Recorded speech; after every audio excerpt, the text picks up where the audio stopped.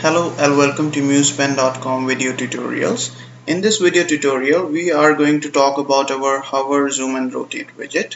Uh, this widget allows you to create uh, rollover animation onto your images placed in Adobe Muse.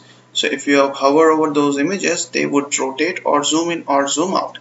So you can go ahead and uh, do this very easily with the help of our uh, this widget. So let me just first of all show you what exactly I'm talking about. Uh, in Adobe Muse onto these images I have applied this anim rollover animation using our Muse Pen hover zoom and rotate widget. So if we go to preview and if I hover over this image you would see that the image is rotating uh, clockwise direction and also zooming in. Similarly for this one. And if you look at the set below it is set for zoom in and to rotate anti-clockwise. So here we go Similarly, uh, you can uh, do it uh, with the images like uh, zoom out and clockwise rotation and vice versa for uh, zoom out and anti-clockwise rotation. You can uh, customize the settings in the widget to get any kind of combination out of these. So the question is how do we do that? So let me create a new site and let me show you how we can go ahead and do this so before we create a page and we show you how to do that uh, you need to first of all download our widget. So to download this widget you need you can uh, click onto the link below this video and uh, you can uh, download it from there or you can go to this link. You can note it down from here also. Musepen.com slash image hover slash 17 hover zoom and rotate.html once you're there just click on add to cart download this widget and it would be saved onto your drive like this. Musepen underscore hover zoom rotate dot you need to double click onto this mulib file and once you do that it would be added to your library panel and you would be able to see it here so let's go ahead and uh, quickly add an image so that I can show you how to create animation with these images. So go to file, place, find your file. I would like to apply it onto all these three images. So I would select them all and I would place them one by one next to each other. And then I'll show you how to do that. So first thing to link our widget with an image is to give that image an graphic style so let's say I want to have this image like this. So now I would go to graphics style panel. I would create a new graphics. You need to make sure that that image is selected and create a new graphic style. It will create a style name that. So for your convenience you can change its name. Let's say I would name it 1 so let's click on OK.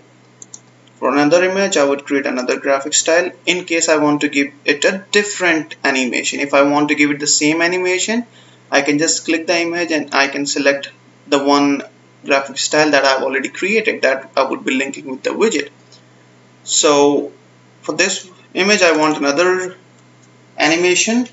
So I would name it as uh, 2 and for example purpose I would leave it as 1 the third one so that I can show you how does one widget work for one sort, sort of a graphic style. So now the next step would be to place this uh, widget so the widget is already there in our library panel. I would just drag it and would place it anywhere near the widget. Now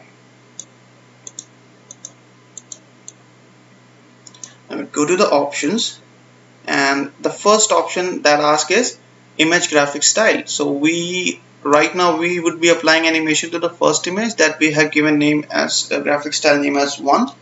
So let's tell our widget that uh, the image that you need to apply this animation is image with the graphics name 1 now in the second part of transition settings we can decide that any how long this animation would go. If you want to be a very quick animation you can give it a smaller time like 0.4 second or 0.2 second. So let it be there like default for now. Transition delay. What happens is like you do not want the animation to happen immediately. Let's say you want it to start after half a second so you can uh, change these value. For now I'm keeping it as 0 but you can change it. There are transition type as ease linear ease in ease out and ease in and out. You can uh, select them as per requirement. You can just try each style with your animation and whichever you like you can go with that. And the second and the most important setting is something that is going to give an animation. Uh, about zooming and about rotation. So first section is image scaling that takes care of the zoom in or zoom out. So right now it's 1.2 so it would zoom into the image with 120% and if you get some uh, smaller value less than 1 it would zoom out. Similarly for the rotation angle if you want the image to rotate clockwise you give it a positive rotation like 6 degree 10 degree and you can give it rotation up to uh, 1440 degree. And if you want it to move anti-clockwise give it a negative value like this. And it would move anti-clockwise. So let's get it back to the default 6% and let me show you what would happen. So right now we have the widget with the linking to the graphic style one. So there are two images this one and this one that has the graphic style as one. So now let's go ahead and try to preview it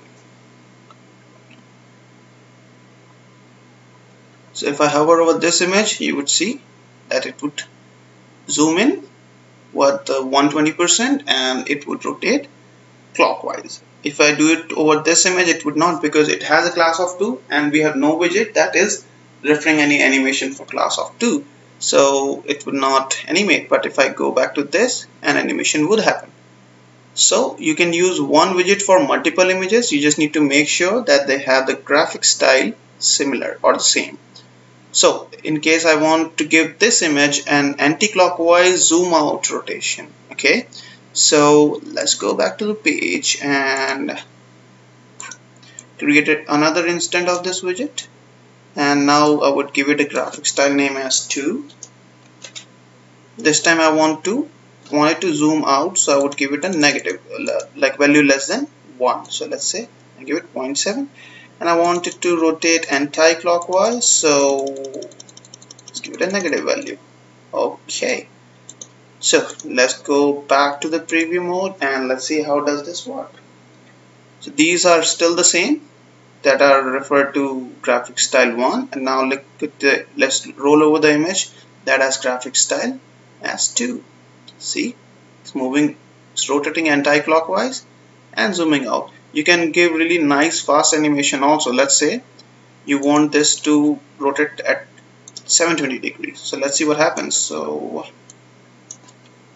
minus 720 and let's say I just want it to rotate. I do not want any zooming so I'll just make this value as 1 so now if we go ahead and preview it it gives a really nice animation so you can utilize your uh, like uh, the options inside uh, this widget and you can create really nice rollover animations for your images controlling the zoom and the rotation of those images.